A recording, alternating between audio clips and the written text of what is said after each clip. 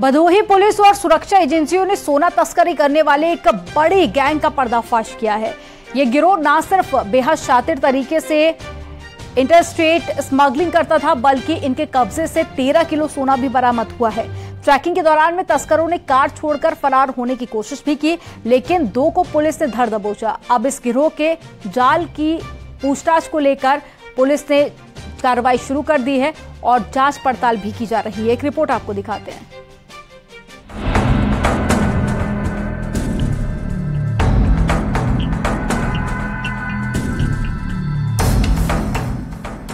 UP के भदोही में police ने एक कार को रोककर तलाशी ली तो सबके होश उड़ गए। कार के अंदर जो कुछ दिखा, वो न सिर्फ़ एक बड़े रैकेट की तरफ़ इशारा करता है, बल्कि इससे साफ़ हो गया कि तस्करी के जाल की जड़ें कितनी गहराई तक पनप चुकी है। पुलिस ने सोने के तस्करों के खिलाफ बड़ी कार्रवाई की है। दो लोगों के पास से पुलिस को तेरह किलो सोने के बिस्किट बरामद हुए हैं। इन सोने के बिस्किट की कीमत की अगर बात की जाए तो आठ करोड़ रुपए से ज़्यादा की कीमत बताई जा रही है। दरअसल कोतवाली इलाके में पुलिस ने बैरिकेडिंग लगाई थी। रूटीन चेकिंग की जा रही थी। इसी दौरान एक कार बैरिकेडिंग की तरफ़ आई और अचानक तीन लोग पुलिस को देखकर कार से निकलकर भागने लगे। कार छोड़कर भागे लोगों से अचानक हड़कम मच गया। पुलिस की एक टीम इन लोगों की घेराबंदी के लिए निकली तो दूसरी टीम ने कार का मुआयना किया। पुलिस के लोग जब गाड़ी के पास पहुँचे और अंदर की तलाशी ली तो कार से आठ करोड़ रुपए के सोने के बिस्किट बरामद हुए। राजमार्ग पर, राष्ट्रीय राजमार्ग पर, जो कि भदोही से क्रॉस होता है एक अर्टिगा गाड़ी, सफ़ेद अर्टिगा गाड़ी जा रही है, जिसमें तीन लोग सवार हैं और उनके पास स्मगल की हुई गोल्ड बिस्किट्स हैं।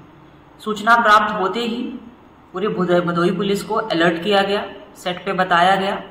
साथ ही साथ जो है चेकिंग की टीम्स लगाएँगी बैरियर्स लगाए गए।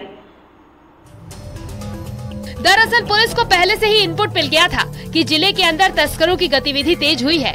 ऐसे में पुलिस ने पूरे ज़िले में एंट्री और एग्जिट पॉइंट पर चेकिंग बढ़ा दी थी। इसी बीच इन तस्करों से सामना हो गया। हालाँकि पुलिस टीम ने फरार हुए तीन तस्करों में से दो को गिरफ़्तार किया है। इन लोगों के पास से तेरह किलो सोना बरामद हुआ है, जिसकी कीमत आठ करोड़ रुपए है। दोनों ही आरोपी महाराष्ट्र के रहने वाले हैं। इस कार्रवाई के उपरांत हम लोगों ने जो है इस अर्टिगा गाड़ी को इंटरसेप्ट किया।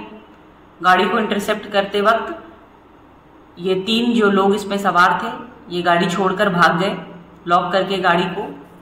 उसके बाद मेरे द्वारा एसओजी टीम को भी इसके पीछे लगाया गया और कोम्बिंग ऑपरेशन की गई उस पूरे एरिया में।